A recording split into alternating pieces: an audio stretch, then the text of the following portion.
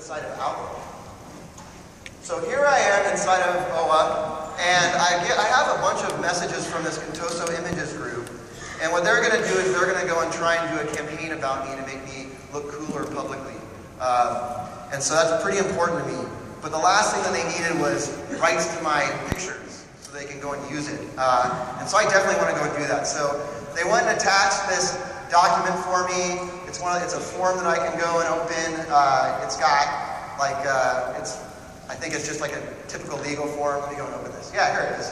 Just one of these forms that has a little place for my signature down at the bottom.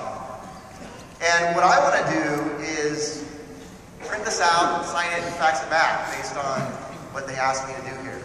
Uh, that's kind of a PIA, uh, and so I'd rather not do that. Well, DocuSign has this app now that they've added where if I get an attachment, I can go and open the DocuSign app. It goes and lets me log in with my O365 account. So it'll automatically go, everybody who has O365 can then go and use this. And now when I go and click on this app, I can go and right here from within the mail, I can go and click on this button that says Sign Selected Attachments.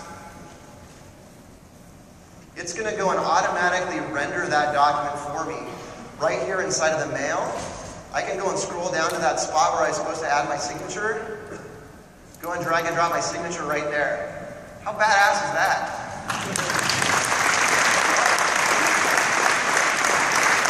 So I can just do this right here, reply back to them. I don't have to worry about faxing it or any of that stuff. It's just great.